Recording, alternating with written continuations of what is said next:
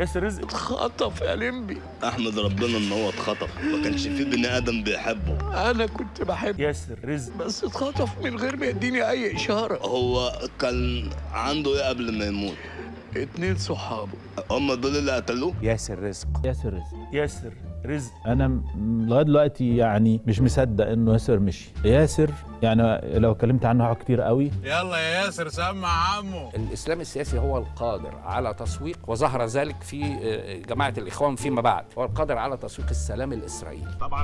وأوجه نداء للشعب الإسرائيلي. وأقول لدينا في مصر تجربة رائعة وعظيمة في السلام معكم. الإسلام السياسي هو القادر على تسويق السلام الإسرائيلي. أمن وسلامة المواطن الإسرائيلي.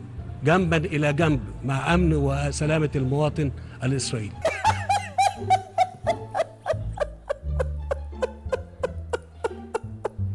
مستعد لدفع أي ثمن حتى من السيادة الوطنية في سبيل استيلائه على السلطة. شفنا أن محمد مرسي كان مستعدا أنه يقتطع من أرض مصر 1600 كيلو متر مربع شريحة في شمال سيناء. إذا الموافق على اتفاقية ترسيم الحدود البحرية بين جمهورية مصر العربية والمملكة العربية تفضل ومرافق اليد. موافقة. محمد مرسي كان مستعدا أنه يقتطع من أرض مصر. كل البيانات وكل الوثائق ما تدينيش غير إن أنا أقول الحق ده بتاعهم. ياسر رزق استقبلني كان قبل مني في الكلية أنا وإبراهيم عيسى. أسرة مع بعضينا. ثم أصبحنا أصدقاء في شلة واحدة وجماعة واحدة هي آه، آه، أسرة واحدة في كلية إعلام.